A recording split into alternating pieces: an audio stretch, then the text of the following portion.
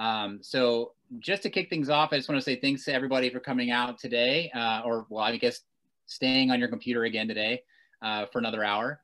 And uh, appreciate you stopping by Venture Cafe St. Louis. You know, obviously we're still online, um, and we'll be for you know probably the foreseeable future until things change a little bit here.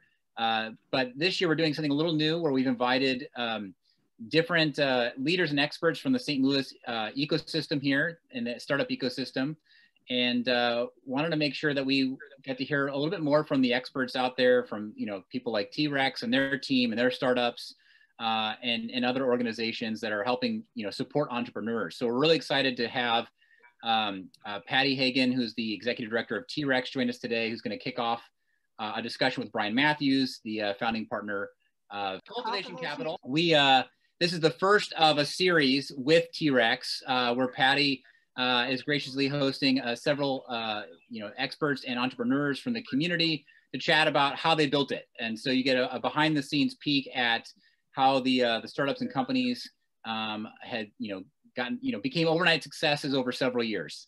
Um, and uh, today we're excited to have Brian with us. So I'm going to kick it off to Patti to uh, to can to just get us started. So thanks again, Patti. Appreciate it. Well, Tyler, thanks for inviting us to participate, and it's it's really exciting to uh, be involved in this. Um, this is um, an effort, uh, and it's a little personal on my part because I'm so interested in the stories of entrepreneurship and and then the stories of entrepreneurs and um, I'm lucky to have enticed one of my favorite entrepreneur friends to join us today, Brian Matthews, who um, has a long career um, as an entrepreneur and um, is now, as, as Tyler mentioned, um, one of the founding principals of Cultivation Capital, um, which um, has and, and has been a great supporter of our efforts here at T-Rex for a long time as well. So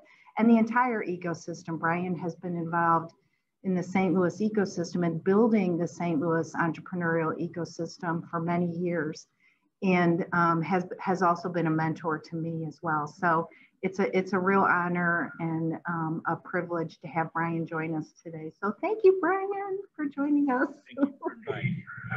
of course, of course. So, um, you know, this is the this is our um, first uh, little set, our first um, uh, issue in this set of uh, entrepreneurial uh, conversations.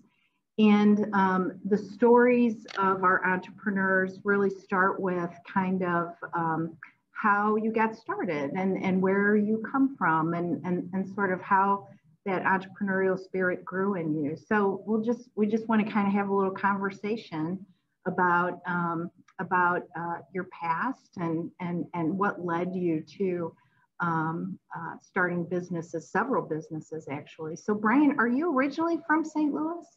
Yes, I am. I um, grew up in uh, Brentwood, Missouri.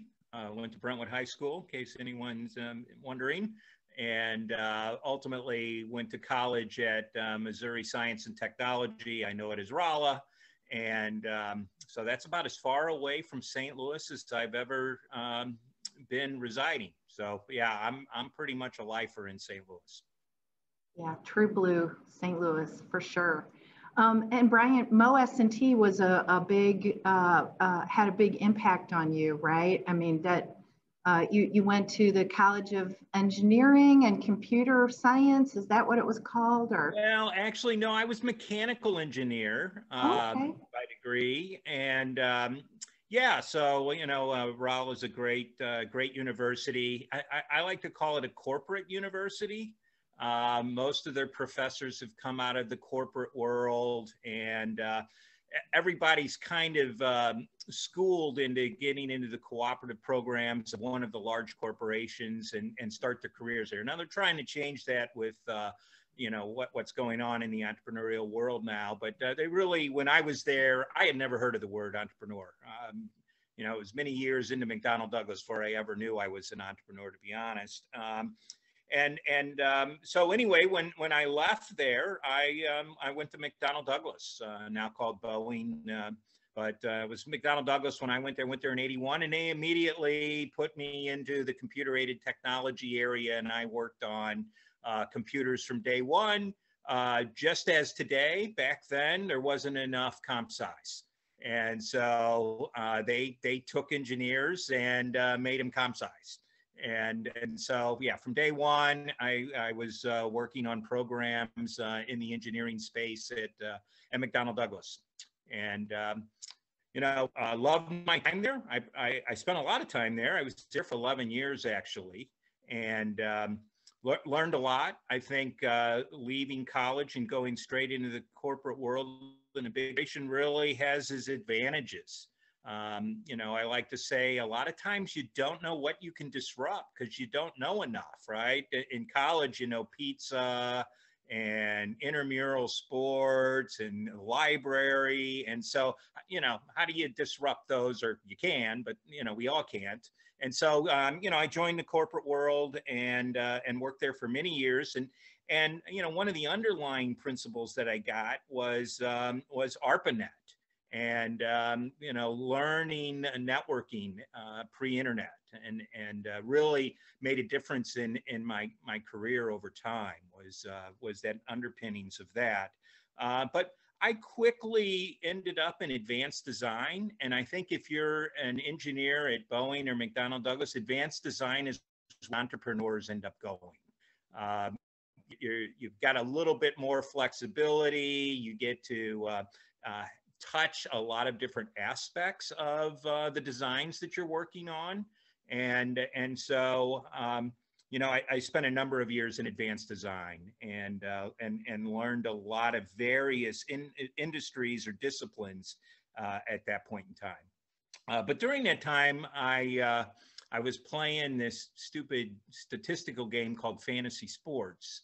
And uh, it wasn't called fantasy sports at that time. I knew it as rotisserie baseball, and um, and and spent a lot of my free time uh, in, in, that area, and um, got to connect with people across ARPANET at other aerospace companies, and and created a um, aerospace uh, rotisserie baseball league uh, in the uh, mid late 80s that got pretty serious, and uh, became the statistician and used uh, uh, digital VAXes to uh, calculate the statistics. So I was using corporate assets to keep track of the teams and uh, and then ultimately um, got a Macintosh. Back then, it was really the entry point was uh, was was difficult. I mean, there was early PCs, and I, I ended up uh, with a Macintosh and uh, met my wife there, and and the two of us started working on developing software to manage uh, rotisserie league baseball. Uh, and that, that was really the start of my entrepreneurial career, doing that after hours.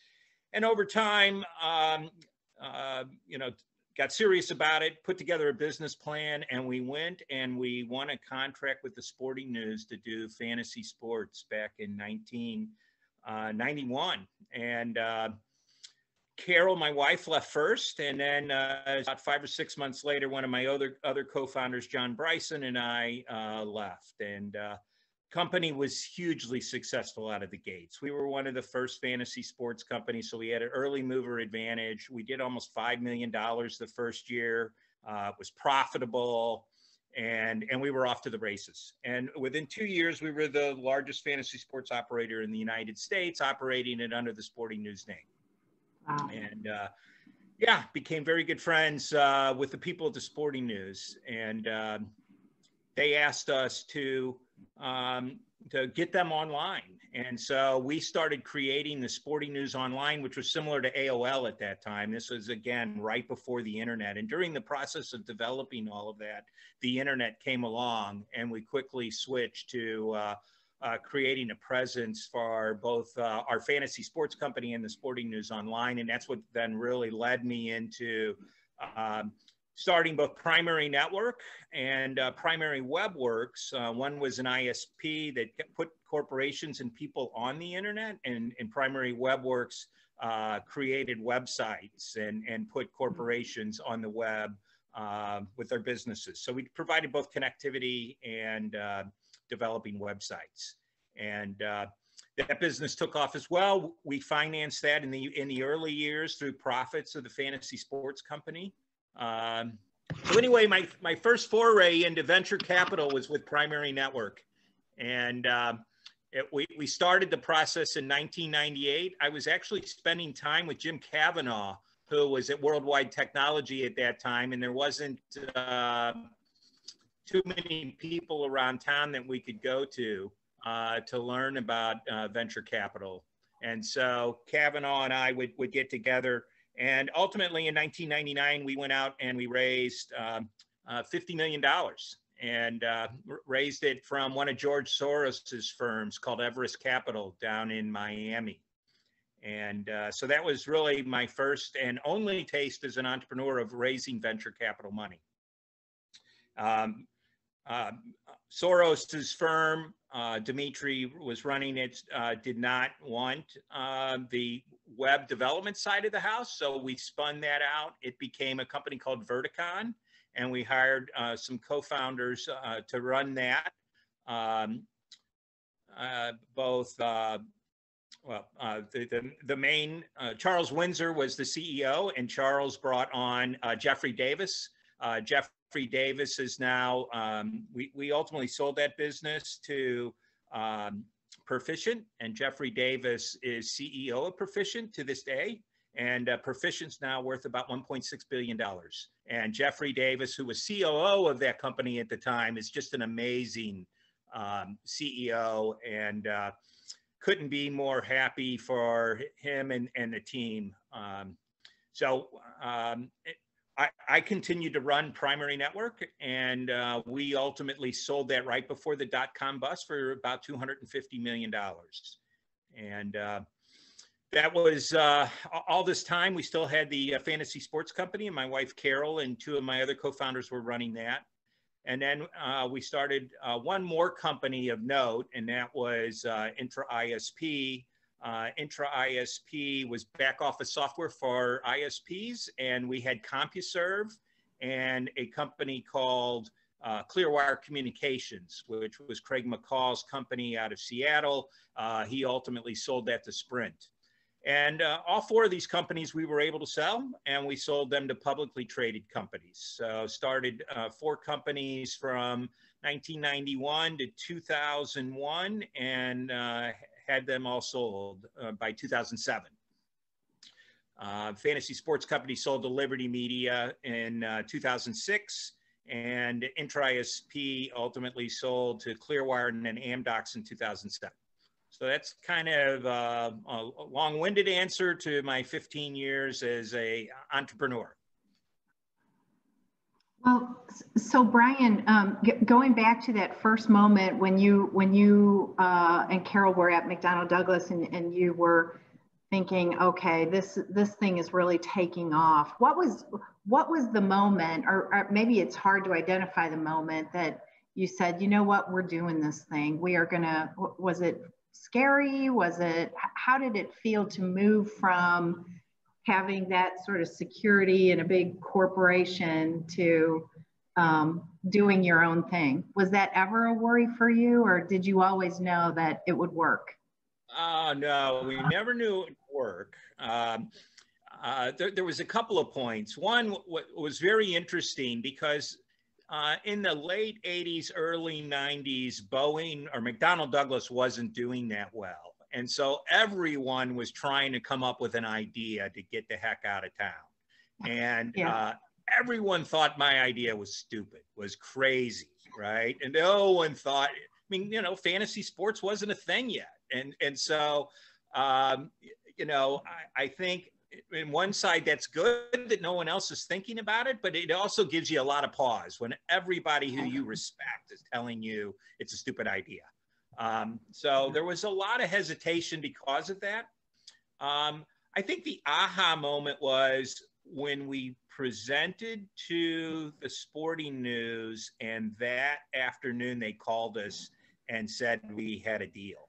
And, um, you know, locking in someone at that time, the sporting news was a big deal back in those days. This was pre internet, and print made a uh, you know, a big impact on everyone's life. And they were a, a weekly sports publication. And so uh, I think that was the moment. Now we had so much to after they said yes. I mean, we had we ran this company for a year and a half out of our house, and now we needed we knew we needed lots of employees to make this happen, and so uh, we worked our tails off for really for a couple of years. Um, I don't think we took a real vacation for like three years. It was seven days a week. The bad thing about sports is it's almost every single day, and it's busiest on the weekends.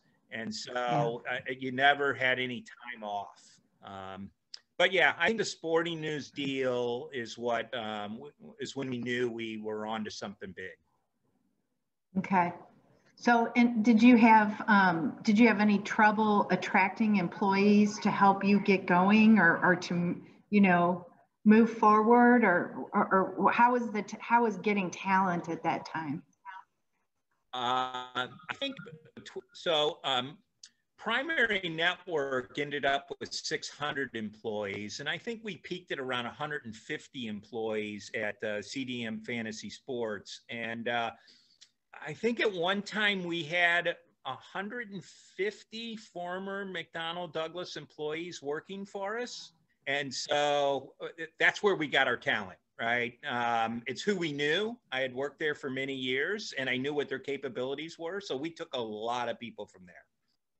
Yeah. So I don't think talent was ever the issue. Um, it, it, really, it really was. I mean, we were hiring a lot of people. I think after we raised the money from uh, Everest Capital, uh, we hired maybe a hundred people that year, or maybe 150. Um, and so, but a lot of people below me were doing the hiring, so I might not have um, recognized as difficult as it was. But in the early years, uh, it wasn't too hard.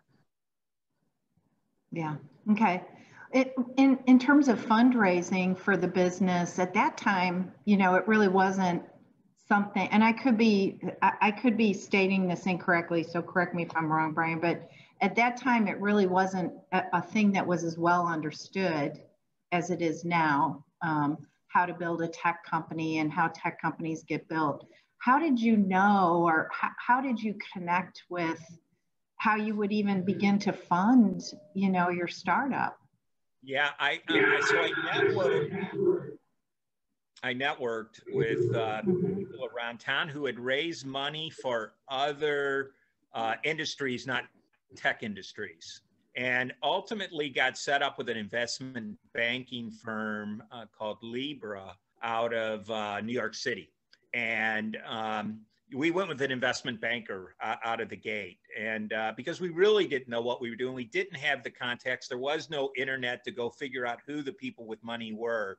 Uh, uh investment banking was much more uh, important i think at that time. Today you know with linkedin and the internet you can go and connect directly to the venture firms but um, back in the in the 90s, that, that just wasn't a, a, thing. You had to go through an investment banker who had the relationships. So uh, ultimately connected to an investment banking firm out of New York City, and they're the ones that took us on the journey. Mm-hmm, mm-hmm. What did um, was it? Uh, well, it must be a different kind of an argument, not an argument, but a different kind of a pitch now than back then in terms of a tech company, right? It, was it, were you educating people um, from sort of a, a, really, you know, point zero to, you know, what this thing could be? Yeah, I, that, that's true. I mean, the internet was still pretty young. And so there, there was a lot of uh, the VCs that we pitched that uh, didn't completely understand it. But um, when we were out there, the East Coast and the West Coast was somewhat mature with the internet. And so we were really trying to do a land grab in the Midwest. So um, our ISP was in five states at that point in time, and uh, there wasn't much competition. And so, you know, the VCs kind of got that opportunity, right? We've been flyover country with VCs forever. And, mm-hmm. and so, um, you know, they saw us as, um, you know, Earthlink of the Midwest, let's say. Hmm. Earthlink was a big player back then. And, and so Um, you know, I think that's a pitch today that a lot of startups still use in the Midwest is we're kind of like this company on the West Coast and, you know, we've got these opportunities that are being overlooked because we're right. in the Midwest. Right. Well, you know, that what you just said, that's a good entree to, um, you know, after you had such great success as an entrepreneur, um, you decided to um, start to help entrepreneurial companies and invest in entrepreneurial companies yourself. So what what brought you to that point? So I was an angel, an angel investor since probably 1998 and had done a lot of different types of investing and um, had one big success, and, and that was with a company called Paylinks that was started by Bob Lozano, which is Gabe Lozano's father. Um, and, and we were one of his first uh, checks, and we were one of his first big customers. Um, uh, CDM Fantasy Sports was at that time probably processing 10 or 12 million dollars over the internet with credit cards, and Paylinks was an internet credit card mm. processor and and so uh, it was a really good fit. It was serendipitous, but um, that was like my first outside investment. Um, but we we did a number of them as as uh, founders of of CDM over the decade before, uh, probably up into 2008. And so I, I'd, I'd, been doing angel investing, and I think I did 42 is the number that I um, ended up with. And um, was interested in helping St. Louis um, because it was so hard for us and so hard for many of the uh, companies that I had invested in that it had been in the back of my head since probably 2005 that we needed access to capital here in St. Louis. And so, um, got involved with Capital Innovators uh, when T Rex first opened. And, and, it was Capital Innovators that brought me to T Rex back in 2011. I was a mentor, an investor, and uh, you know uh, Judy and Hal were investing fifty thousand dollar checks, and uh, it was obvious that fifty thousand's nice and it's a good way to get started, but we needed much more capital than that, and that's that's really when the idea I would say in 2011 of, of cultivation capital um, came about, and um, we started cultivation capital in uh, April April 15th actually of 2012 and, um, um, you know, the original goal was to raise $10 million and focus on St. Louis. And, um, you know, it was going to be a tech fund. And now we've got tech fund and life science fund and a pandemic fund and an ag tech fund and uh, uh, going to be announcing a geospatial fund and uh, 250 million under management and uh, still 40% of our deals are in St. Louis. Uh, but you know, we're, we got a company in Australia. We got Israeli-based companies. We I, I sit on a board in Buenos Aires. Uh, it's really gotten bigger than um, any of us ever thought. Yeah, it's it's amazing, Brian, the success you guys have had. Um, cultivation is so well known, especially um, throughout the Midwest, and is getting such recognition nationally you guys are awesome. You bring so much to St. Louis. Um, and we're really grateful, you know, within the ecosystem for everything that you guys are doing. Um, what are what are some of the companies that you're most excited about right now that um, that cultivation is involved with? I know there's a lot, so yeah, and, and you, it's like your children, right? How do you pick your favorite children? yeah, you never want to. What are ones that you think? Yeah. Yeah, I never want to uh, omit any. Um, you know, uh, Balto's doing amazing things. Um, LockerDome is absolutely crushing it. Um, obviously, Benson Hill. Um, a company called Geneoscopy that's doing very well in the life science fund that everyone in, in our firm's really excited about. Um, let's see, we've got Clever, uh, Noonlight, are, are all doing good things. Um, I, we just had a couple of very nice exits. Avail out of Chicago, obviously Gainsight just just sold. Mm-hmm. Uh, and we've got uh, we're identifying maybe up to five exits this year of, of significance. Wow. it's it's a big year and it's time, right? I mean, we started in 2012, and and funds, uh, you know, most companies that we invest in should exit in in that five to eight year period, and so it, it's it's really time for us to start, um, you know, putting some money back in the pockets of our investors, and you know.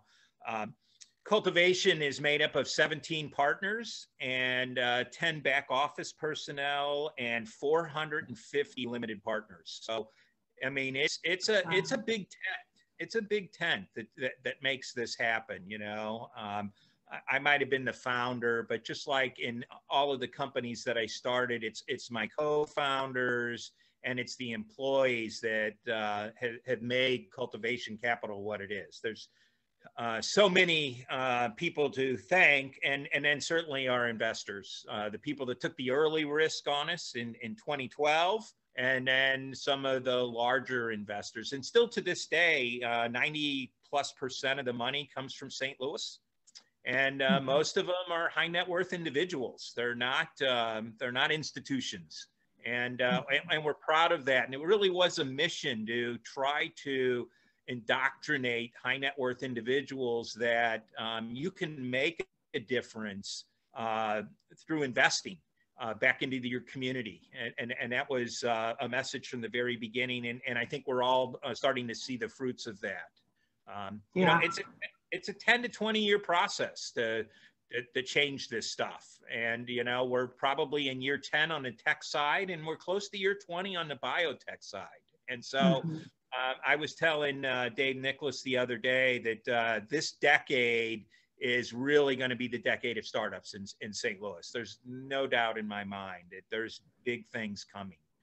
Um, you can just tell by the amount of capital last year it was 400 million was invested in st louis and and you know these are outside investors uh, that have so many options of where they can put their money in, and and they've decided to put it in companies in St. Louis, and and and that's a early indicator of what's to come, right? That money comes in and it creates lots of jobs, and at some point in time, it returns a lot of money to the founders of these companies as well as the investors of these companies. That and it all gets redeployed um, with the Quality Small Business Act and, and the savings that you can get uh, from investing in these early stage companies, that, that, that flywheel just really starts happening. And when you see com- uh, cities like Indianapolis and Chicago, who uh, have had some billion dollar exits, and, and how that uh, really starts to change uh, the mentality within a city.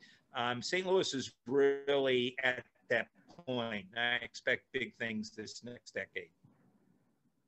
So, Brian, um, I agree. I mean, we we see it, and I think there's a lot of interest from um, investors on both coasts now, looking at the Midwest. You mentioned something earlier about the Midwest um, sort of being overlooked, right, for for many years, and we, we see it here, and and you're describing that. How, what are investors? Um, from um, elsewhere in the country um, looking for in St. Louis? What, what are they starting to notice here that they hadn't noticed before?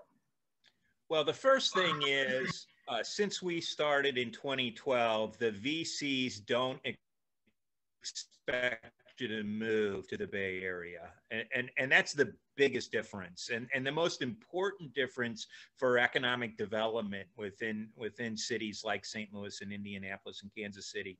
Um, and, and so, um, you know, what they see here is quality of life um, and, and certain expertise that is not necessarily common on the coast, right? Um, you know, and it, it usually centers around the corporations and the universities expertise that you have. And, and so each city uh, has these special uh, expertise or uh, talent uh, within a city. And, and so the companies that um, get formed tend to resonate or build around those uh, experiences, right? And so um, obviously biotech, ag tech is huge.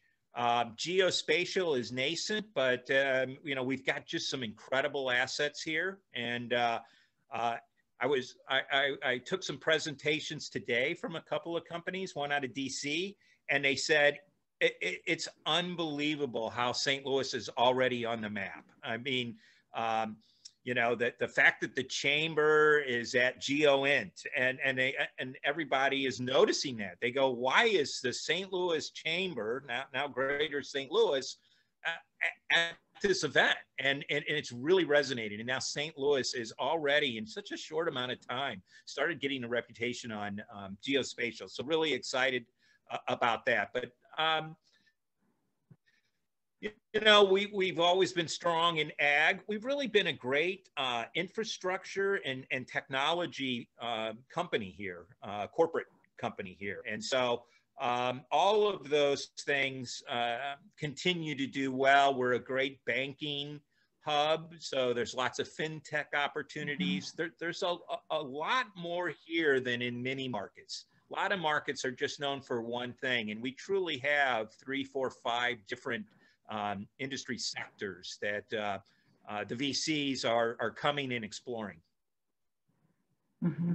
Yeah, I agree. Um, the um, in terms of geospatial, the presence of the NGA, um, the resources, honestly, to be a little self-serving, the things, the resources we built at T-REX, um, NGA is going to build Moonshot Labs at T-REX. We're we're constructing that now. I mean, I, I, think all those things add up together to to a real um, opportunity for for our ecosystem and for the region uh, to leverage. So um, we're really excited about that.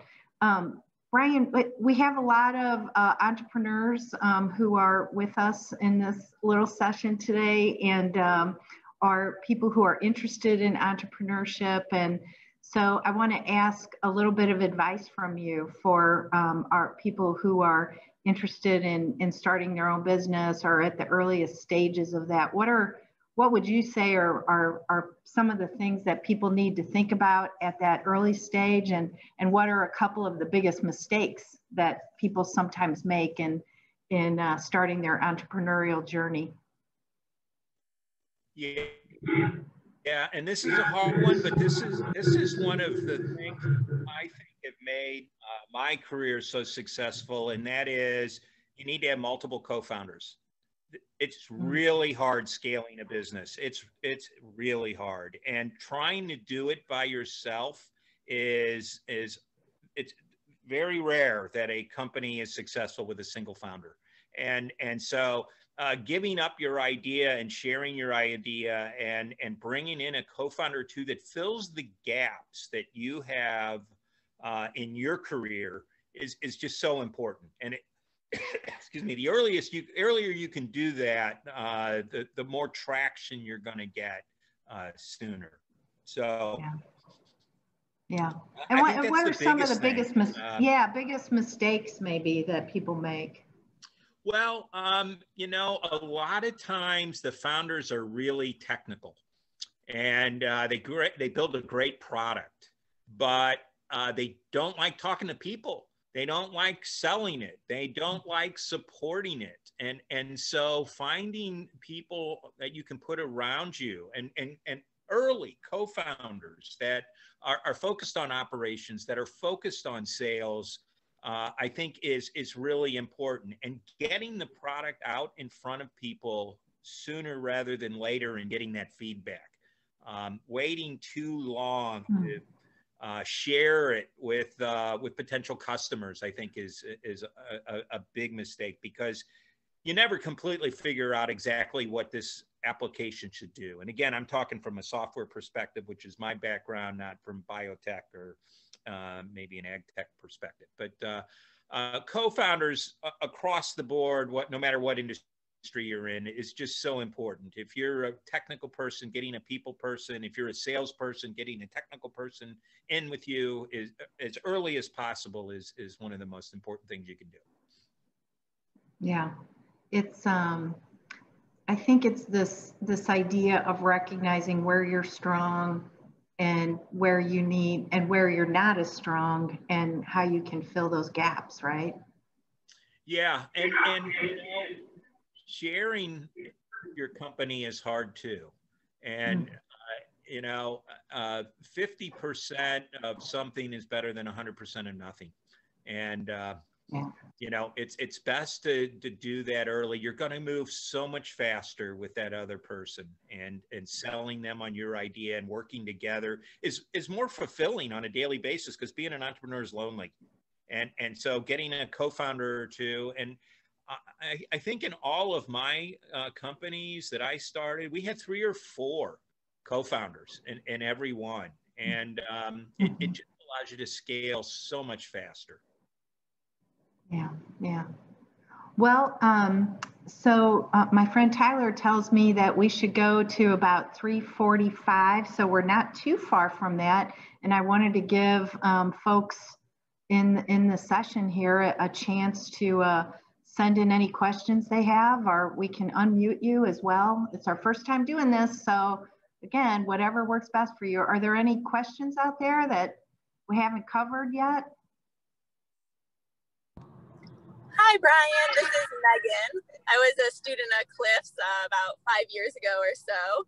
Um, and I'm curious, I understand all of the, every VC has their own thesis for the future, and some of that can be, you know, held close to the vest. But are there any predictions or unique insights you have um, that you're willing to share over the, as you guys look at current companies now and companies growing um, over the next, you know, five to 10 years? Like, where do you see the next decade kind of proliferating for, for young founders like all of us?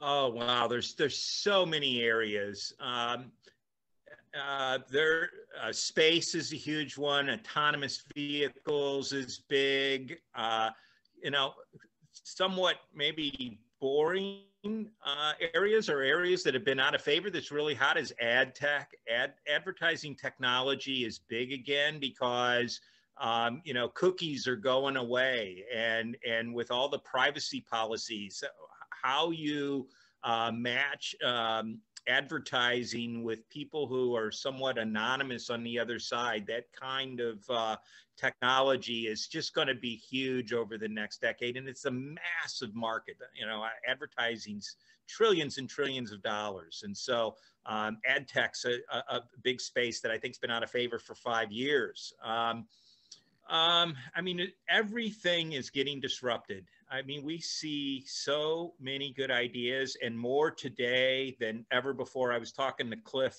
uh, earlier today, and oh my gosh, uh, we, we, we are just seeing so many companies with a million and two million in revenue and growing at the, the rates we like of 10 to 20% month over month in things from ed tech to not for profit tech to uh, space tech. I mean, it's just um, just amazing, and uh, it's um, it's not slowing down. It's it's going faster, and, and and it's a great time to be raising money. There's so much money uh, floating around for so many of the obvious reasons. Uh, the stimulus, the Fed, um, you know, so there's a, a, a lot of money being uh, invested in these ideas. So it's a great time to be an entrepreneur and, and taking the leap. Great question, Megan. Anybody else out there? Okay, everybody's just taking it all in, Brian. Okay, Brian, kind of a personal question, but hope you don't mind. What What are some of the uh, first things you're going to do after the stupid pandemic is over?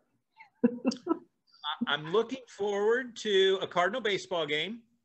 I'm looking forward to going to Napa and doing some wine tasting, uh, and and just going on vacation. Uh, you know, just getting out of the house. Uh, did uh, drive Carol's mom down to Miami, and so I did that the first week of January. That was the first time out of the house in nine months.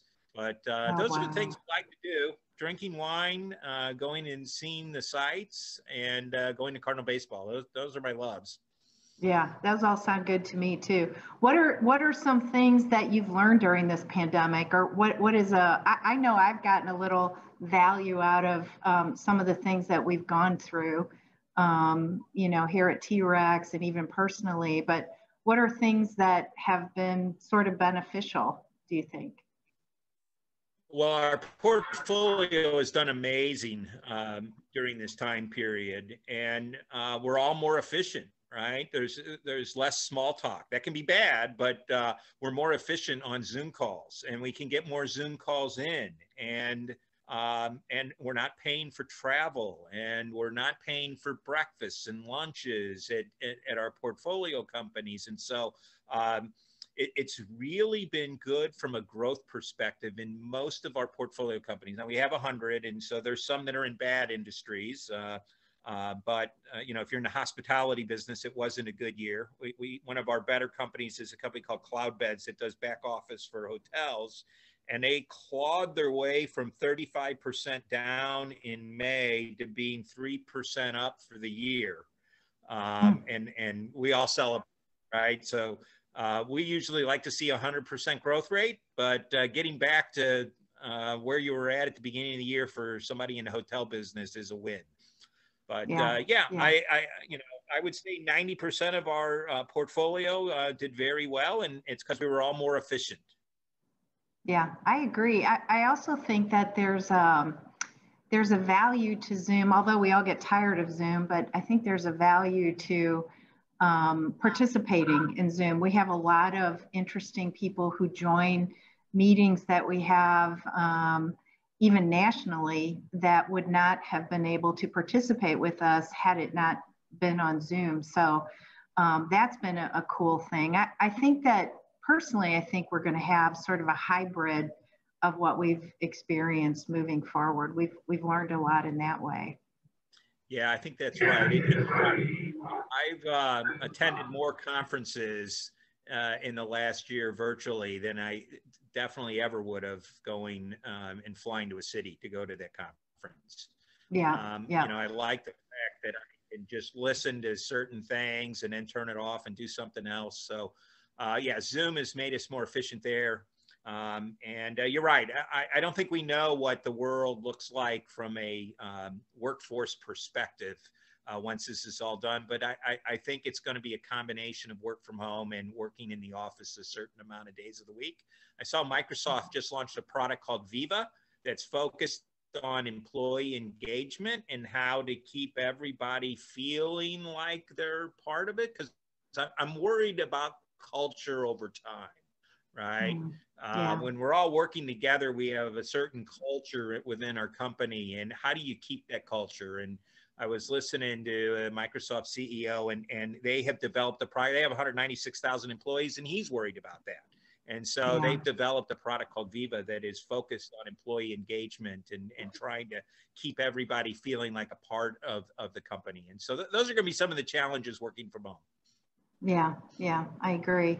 Um, Brian, we have one more question, and then um, I think we're, we're about out of time, but um, one of our uh, attendees is, is wondering about how they can get more information on the geospatial uh, fund that you guys have started, or, or is there is is there information out there about that?